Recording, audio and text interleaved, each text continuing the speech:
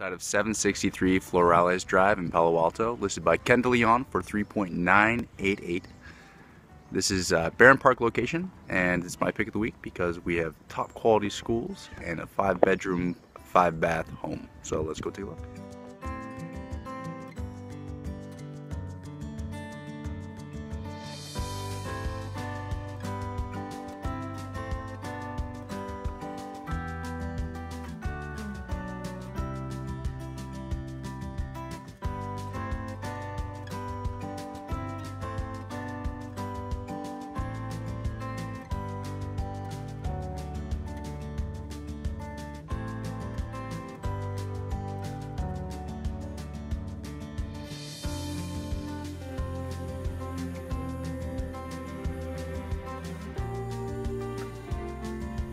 Right, just a quick recap. That was 763 Florales Drive in Palo Alto, listed by Ken DeLeon for 3.988. If you know of anybody that might be interested, please share the video. Thank you so much for watching. Have an awesome weekend.